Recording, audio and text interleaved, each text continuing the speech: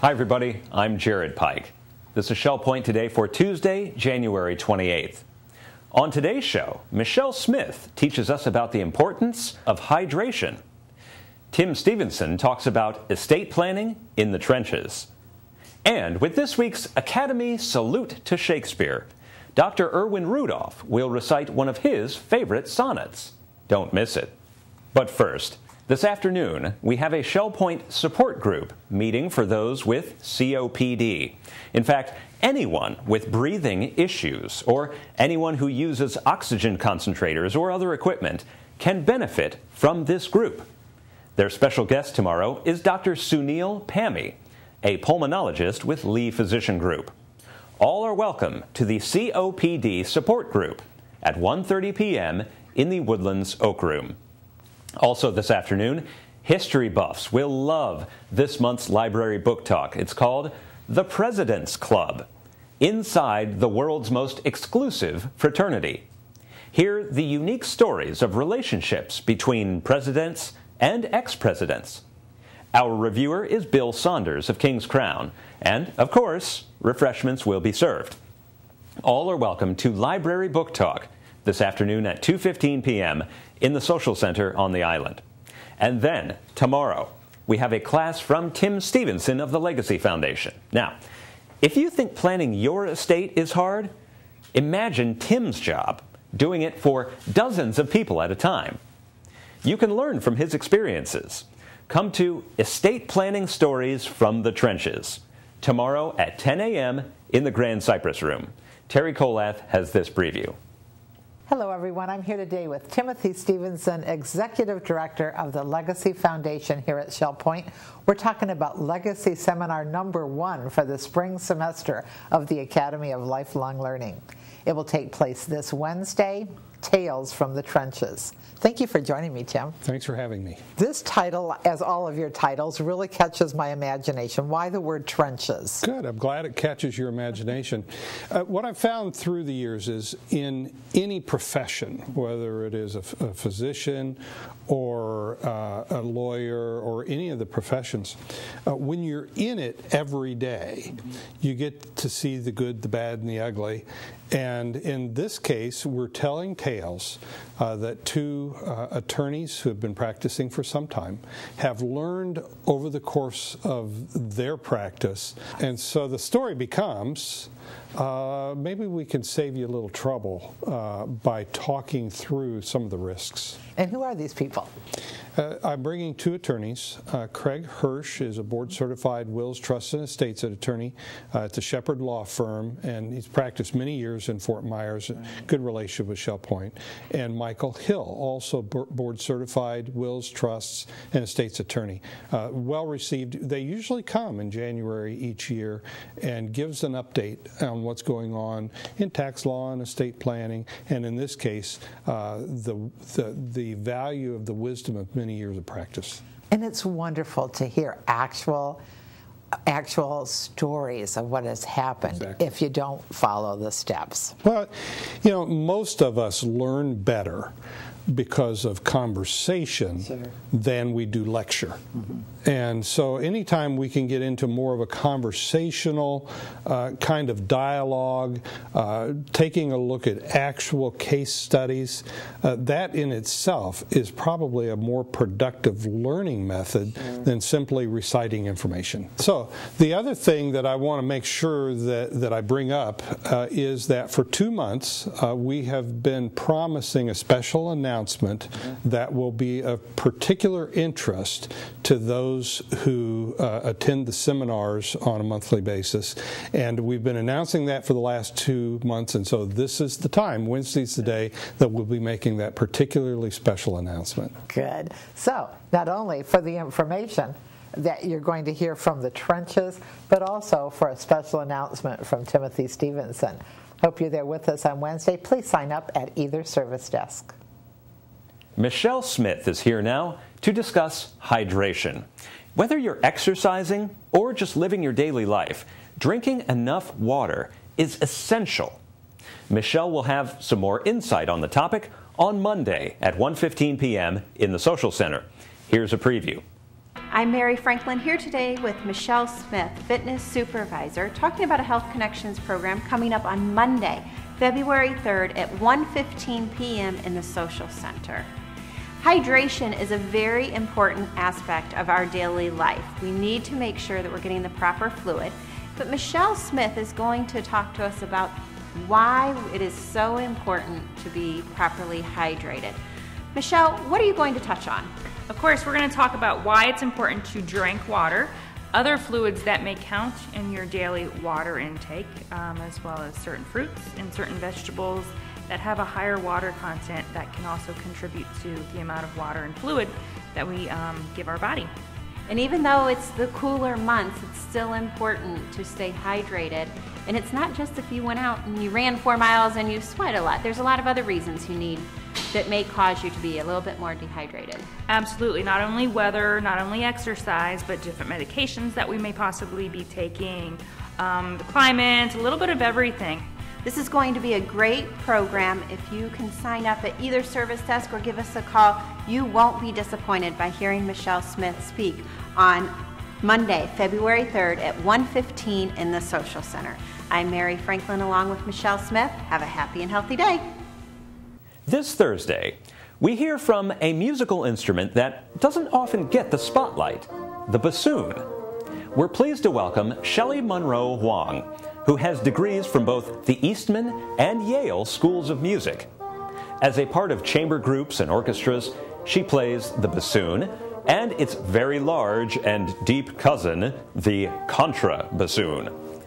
Shelley enjoys performing contemporary works alongside the classics. So, don't miss her performance this Thursday at 7 p.m. in the Grand Cypress Room. Your ticket also includes dessert and mingling with the artist afterward. So, get your tickets at either service desk or call our box office at 454 2067. Now, great news about Shakespeare. He's written a new play Okay, just kidding. Actually, we're celebrating his 450th birthday this year with an Academy class called Salute to Shakespeare. Ray Boyce has traveled to Oxford and Cambridge to study the bard and will share his expertise with you. Now, this class has been rescheduled to combine sessions 1 and 2 into one mega session happening Thursday at 9:45 a.m. in the Social Center on the island. Terry Kolath has this preview. Hello, I'm Terry Kolath, and I'm here today with Ray Boyce of Rosemont, and we're talking about a semester of celebration. We're celebrating the 450th anniversary of Shakespeare with a friend and neighbor. Thanks for joining me, Ray. Nice to be here. First of all, we want to find out a little bit of how, a little bit about how you got interested in Shakespeare in your um, retirement time of life? Well, like everyone, I think uh, I always had some interest in Shakespeare, more of a curiosity. Uh, didn't gravitate it to it that quickly, easily, because the language is difficult and all the other reasons. When you're younger, you resist reading it. Uh-huh. But I always wished that I had uh, a greater insight and greater familiarity with Shakespeare, his work, and his life, and and uh, then when I got to retirement, I started going to continuing education programs, started here in the States up at Dartmouth College, and then gradually went to England, where I've done about eight different uh, courses over the last eight or ten years. And the last three have all been on Shakespeare at Merton College uh, at Oxford. And uh, through a series of lectures and a wonderful tutor and very interesting classmates, I I got what I call the Shakespeare bug, and my interest has uh, increased dramatically. And now, with this 450th anniversary of his birth on April 23, I find it a particularly relevant time to uh, maybe talk a, a little bit about him and his work and his, the legacy that we have from this wonderful man. Well, looking at the 450th anniversary brings to mind that's a long, long time ago that Shakespeare was writing. Why are we still interested in Shakespeare today? Well, it's obvious that the man's writings and the stories and the poetry and uh, his life are of great interest to people, most especially Uh, we find it very, very relevant to everything that happens in our lives and in, in the world today.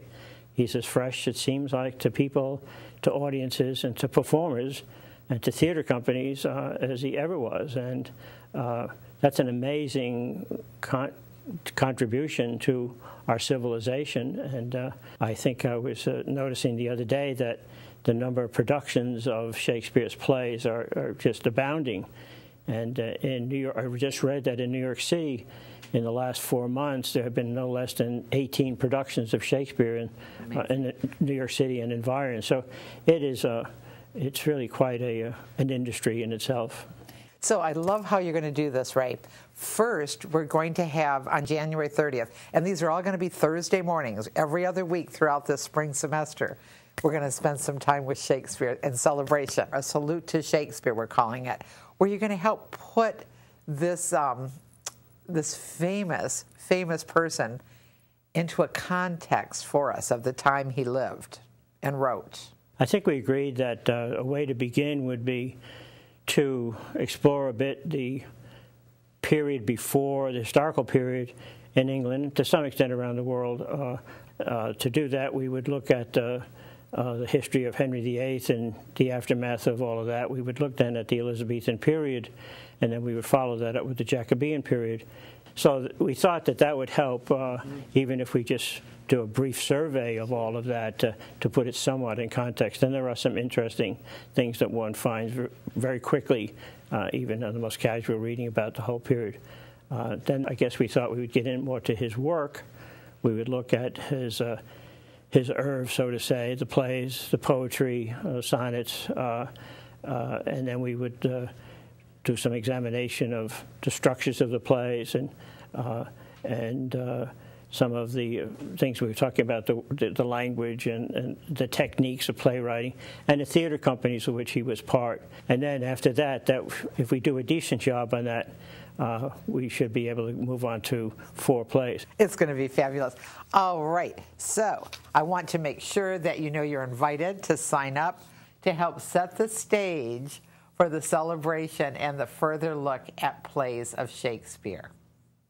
Now, there is likely no bigger Shakespeare fan at Shell Point than Dr. Erwin Rudolph of the Arbor.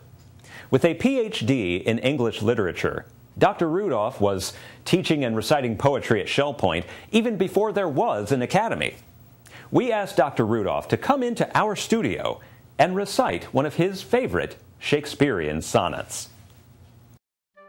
Let me not to the marriage of true minds admit impediments. Love is not love which alters when an alteration finds, or bend with the remover to remove. Oh no, it's an ever fixed mark that looks on tempest and is never shaken. It's a star to every wandering bark, whose worth's unknown, although its height be taken. Love's not time's fool, though rosy lips and cheek within his bending sickle compass comes. Love alters not with the brief hours or weeks, but bears it out even to the edge of doom. If this be error and upon me proved, I never writ, nor no man ever loved. Now, I have to tell you, folks, Dr. Rudolph is 98 years old and did that completely from memory. Now, even I use a script when I record this show, but he knew this down pat along with To Be or Not to Be and several others. In fact, let's hear it one more time. Let me not to the marriage of true minds admit impediments. Love is not love which alters when an alteration finds, or bend with the remover to remove. Oh no, it's an ever fixed mark that looks on tempest and is never shaken. It's a star to every wandering bark, whose worth's unknown, although its height be taken. Love's not time's fool, though rosy lips and cheek within his bending sickle compass comes. Love alters not with the brief hours or weeks, but bears it out even to the edge of doom. If this be error and upon me proved, I never writ, nor no man ever loved. To learn more about Shakespeare, make sure you attend Salute to Shakespeare, an Academy class happening Thursday at 9:45 a.m. in the Social Center on the island. Now, let's find out what to expect on our Tuesday with happenings, academy, menus, and church connections. Happy Tuesday, everyone. My name is Leslie Brand, and I'm here with Bev Chanley. And this is the happening segment of Shell Point TV. We have a lot of activities going on today, so make sure you turn up the volume to those TVs.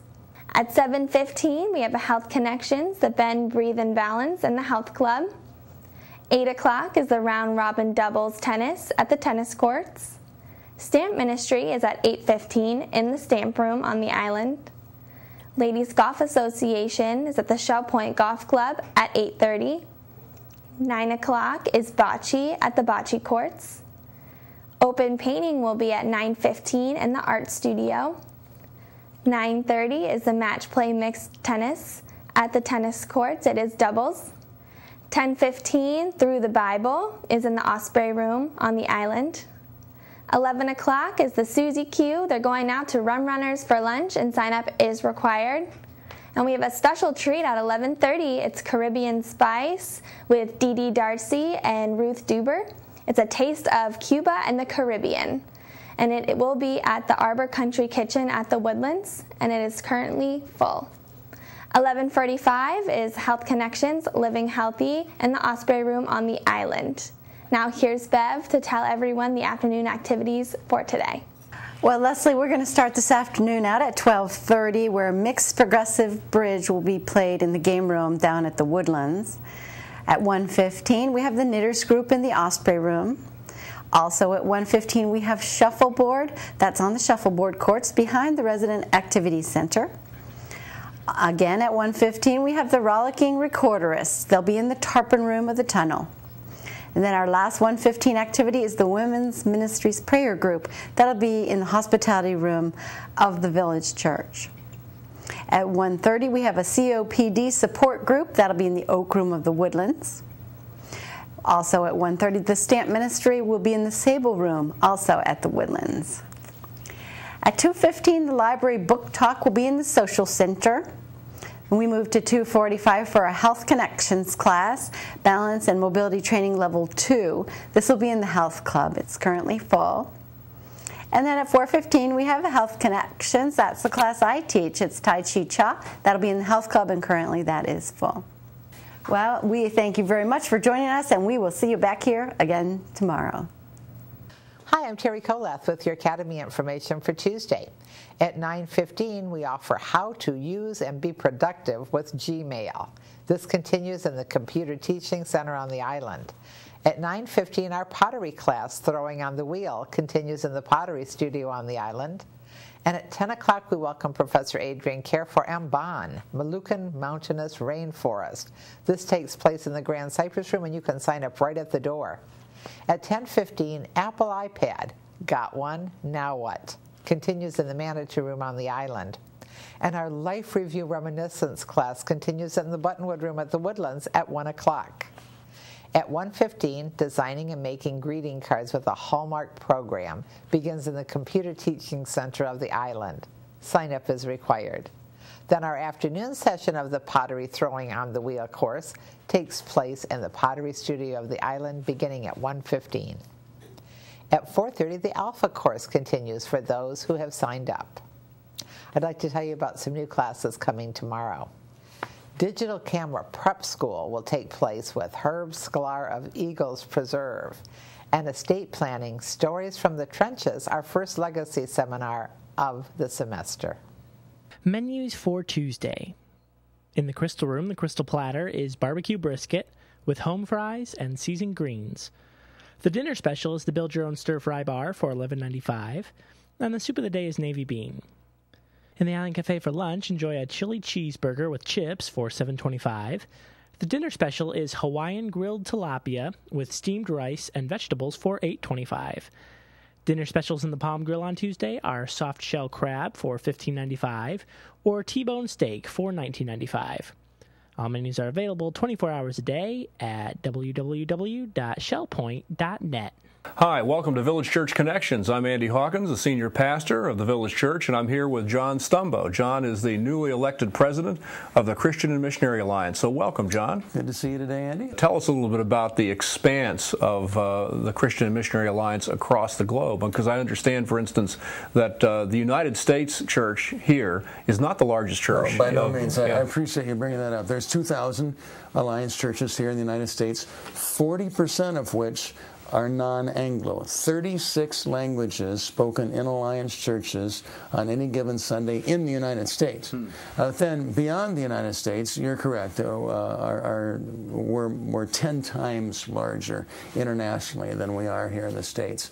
And countries like the Philippines and Vietnam and Cote d'Ivoire, other countries having much larger national churches than the, than the U.S. CMA does. But one of the beauties of what the CMA has done through the decades has been to establish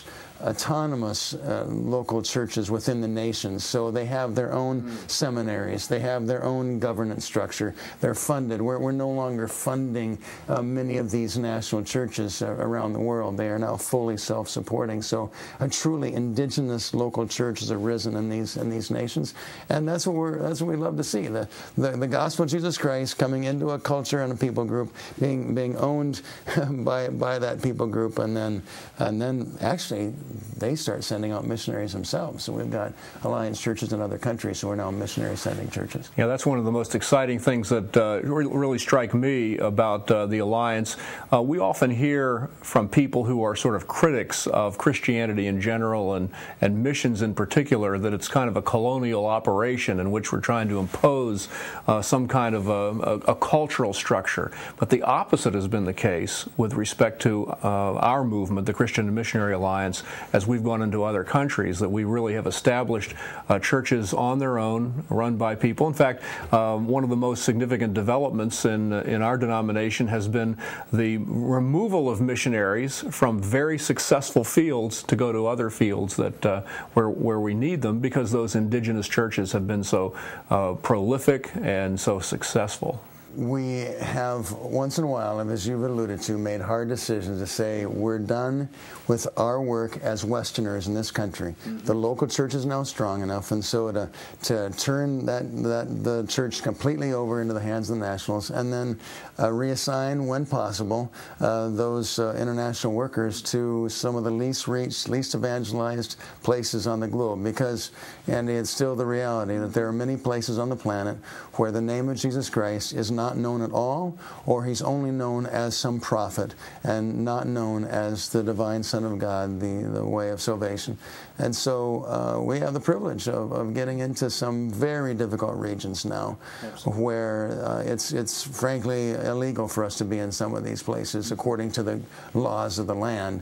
But through creative access means uh, we're able to uh, become, learn the language, become part of the culture, and sensitively begin to share the gospel. Yeah, that's very exciting. Now, of course, uh, you're here because uh, you've been recently elected president of this denomination and uh, that is the, the American church, the United States church, and uh, that often, uh, I would think, has its challenges. Uh, so, as you approach this kind of ministry, uh, what kinds of uh, I don't know, thoughts, fears, trepidations, excitements have crossed your mind in the last uh, number of months? When I got out of seminary a few decades ago, I realized, you know, there's lots of great church families out there, various organizations in which I could serve. I don't need to just be in the Alliance because my family was from the Alliance, but uh, I thought, you know, I, I love the theology, the fact that we're centered on Christ. I love the missions emphasis that we do care about Acts 1 8, the whole world. And I've always liked the people. Every, and so I'm this young 20-something guy, but I'm thinking every time I'm around some Alliance people, I, I've had good experiences, so why would I want to choose another family? So here now, decades later, I've been appointed the president. I'm humbled by that. I'm privileged by that. I'm thrilled by that because now I get to be part of shaping what the next generation experiences as who is the alliance what do we value what uh, what are the foundational things upon which we continue to, to build and uh, I'm glad that as I come in I don't have to like overturn decades of bad history. No, I enter into a, a great movement that has been well led uh, by, by men of, uh, and women of character through the decades. And so I, I, I want to, yes, there'll be some new vision, there'll be opportunity for some, some, some new thrusts or emphases, but uh, I join a great progression of the work of God through this fabulous family. Yeah. Now, we just uh, spent some time in our local district conference, and you were a speaker uh, on those occasions, several occasions in that conference.